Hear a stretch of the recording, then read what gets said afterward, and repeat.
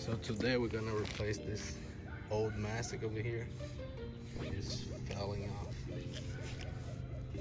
So first step, we'll have to remove the old one. Clean it up.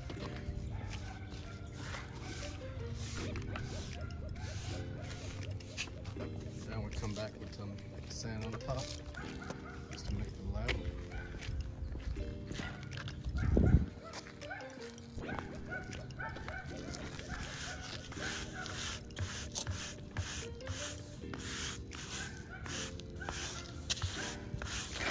have it like quarter of an inch deeply so we can put the new material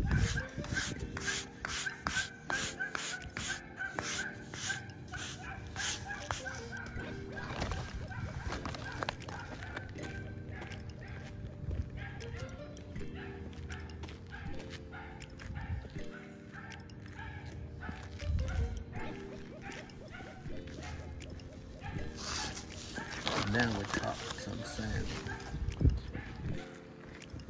Looks like a. We don't like to have it smooth, you know.